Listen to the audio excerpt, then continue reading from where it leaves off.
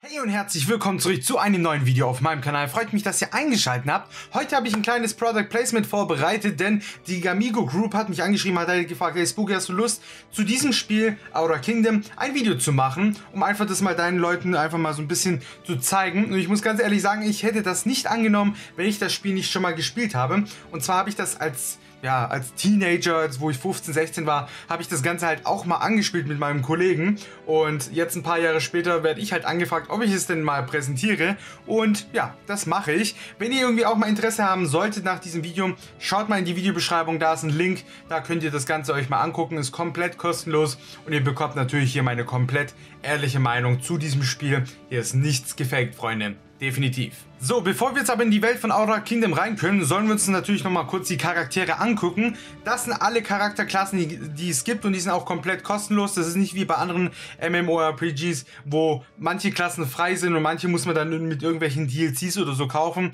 Nein, ihr habt hier komplett alle. Alle kann ich euch jetzt leider nicht zeigen, aber ihr könnt auf jeden Fall sehen, hier gibt es den einen oder anderen, der wirklich ziemlich cool ist. Hier hinten zum Beispiel einer mit einer Kanone, da hinten mit einer riesen Lanze, mit einem riesen Zauberstab, sogar mit einem riesen Schwert hat. So ein bisschen Excalibur-Style und so.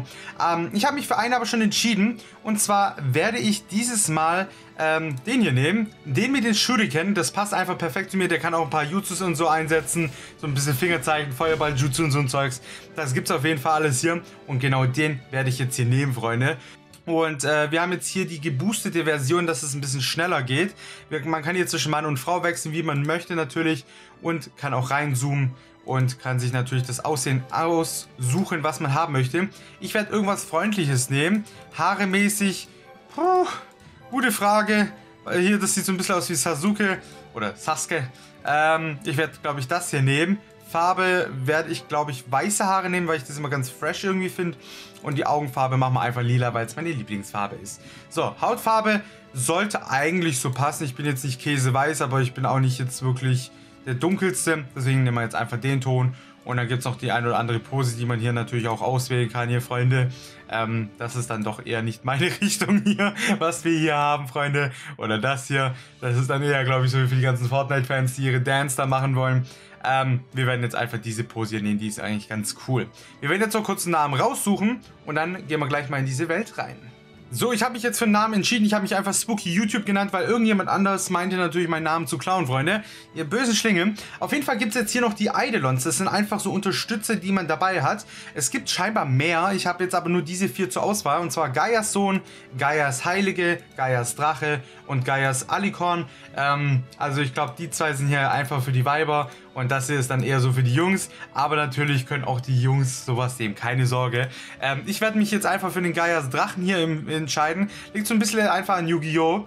Weil der kleine Babydrache mich sehr daran erinnert und ich den eigentlich sehr mag. So Freunde, wir sind jetzt in-game, wir sind jetzt gleich mal in so einer Halle hier drinnen und äh, jetzt werde ich euch kurz die Basics erklären. Ihr habt hier unten, habt ihr eine Leiste, die könnt ihr jetzt leider nicht sehen, da sind die EXP, also die Level-Anzeige von eurem Charakter. Die könnt ihr aber auch oben nochmal sehen, da wo die 85 da oben steht.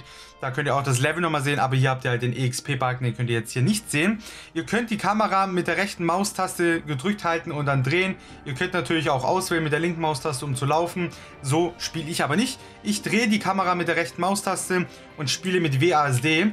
Also ihr könnt auch den Charakter einfach so lenken, das funktioniert auch. Und mit Leertaste könnt ihr sogar springen, Freunde. Das sollte in dem Sinne kein Problem sein. Hier habt ihr eure ganzen Attacken. Äh, die kann ich jetzt hier nicht, nicht einsetzen, da wir jetzt ganz kurz hier eine Quest machen müssen, um hier erstmal rauszukommen. Deswegen sprechen wir gleich mal mit dem Tempelkrieger, steht hier auch an der Seite. So, Spooky YouTube, Suna wartet auf dich. Beeil dich, ab morgen wirst du die wahre Schlacht erleben. Viel Glück dabei. Okay, Dankeschön. Gesprochen haben wir. Wir sind jetzt hier und können einfach diesen, diesen äh, Aura-Bällchen hier folgen. Die folgen einen auch zum Teil zu der nächsten Quest. Oder was ihr auch machen könnt, ihr drückt einfach hier auf dieses ja, sprich mit Suna, um die Quest zu beenden. Dann läuft er automatisch hin, seht ihr. Und äh, dann könnt ihr die Quest auch so abgeben. Aber das funktioniert leider nicht bei jeder Quest. Ihr sollt natürlich auch irgendwo was tun und nicht nur immer auf, dieses, auf diesen Button drücken und äh, hoffen, dass der jetzt da irgendwie hinläuft oder so. Deswegen nutzt es. Spooky YouTube. Heute ist der letzte Trainingstag. Du wirst schon immer einer der, du warst schon immer einer der Besten. Noch dazu, dass du deine verborgene Macht besitzt. Und ich weiß, wie wir sie erwecken können. Ganz genau. Die werden wir wahrscheinlich noch gleich erwecken, Freunde. Diese Macht ist so stark, so stark sogar, dass sie furchterregend sein mag. Wenn du jedoch bereit bist, sie anzunehmen, wirst du beim Beschützen der Welt eine große Rolle spielen. Ich werde dir helfen, ganz egal was passiert. Oh, danke, Suna. Es gibt ein altes Sprichwort. Mit großer Macht kommt große Verantwortung. Woher kenne ich das nur? Spider-Man? Bist du bereit, die Verantwortung zu übernehmen? Äh, du siehst Selma fest, du siehst Selma fest entschlossen an. Äh, gut, den Rest können wir einfach überspringen. Das ist einfach äh, dummes Gequatsch hier. In dem Sinne. Wir haben jetzt erstmal diese Stand ganzen Standard-Sachen gemacht. Was wir uns jetzt auf jeden Fall angucken, ist sozusagen äh, den Cash Shop, Freunde. Dazu drückt ihr einfach hier unten auf diesen Einkaufswagen und habt jetzt, ich habe jetzt zum Beispiel hier gleich noch so, ein, so eine Kiste, die habe ich jetzt gleich mal angenommen, Einkaufswagen. Also die habe ich jetzt auf jeden Fall schon. Und hier habt ihr den, den, ja, den Shop, wo ihr dann eben mit Echtgeld Sachen kaufen könnt. Das ist natürlich keine Pflicht.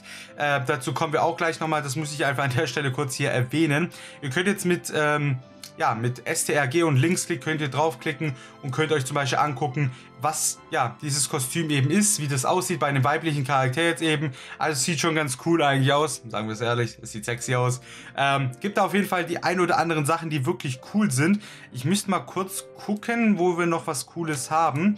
Ähm, da sehen wir auf jeden Fall auch schon wieder was, wo so ein bisschen Eiseffekte hochfliegen und so ein Zeugs. Also das, das hat schon was, Freunde.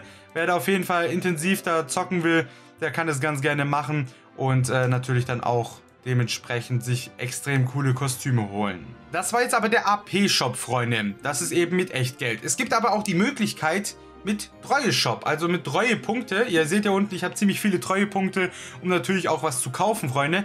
Könnt ihr auch eben auf Kostüme gehen, auf Gesicht, könnt dann eben wieder auswählen und dann seht ihr, dass ihr hier zum Beispiel irgendwie so ein Bienennest oder irgendwas, was das sein soll, habt ihr auf jeden Fall hier gleich zur Auswahl. Also man muss sich halt so ein bisschen durchgucken und diese Treuepunkte, die könnt ihr auch kriegen, wie zum Beispiel das hier. Das sieht schon wirklich sehr, sehr, sehr edel aus. Ich gucke mich kurz noch durch, was es hier noch gibt, Freunde. Dann kann ich euch bestimmt hier irgendwas mal kaufen und äh, zeigen, wie das aussieht. Irgendwas Teures. Ich meine, wenn ich schon so viele Punkte habe, ah, dann nehmen wir doch gleich das hier, oder? Das äh, können wir, glaube ich, kaufen hier. Inferno Königsrüstung M. Fährbar. Einmal kaufen. Mama. Zack. Seht ihr, Geld ist weg, Freunde. Haben wir jetzt einfach mal gekauft. Und das Ganze kann man natürlich dann auch ausrüsten. Wenn ihr was ausrüsten wollt, geht ihr einfach hier auf den Rucksack, drückt drauf, Freunde, und dann könnt ihr hier das Ganze zum Beispiel anziehen und schon habe ich einfach mal diese, diese mega coole Flammenrüstung an.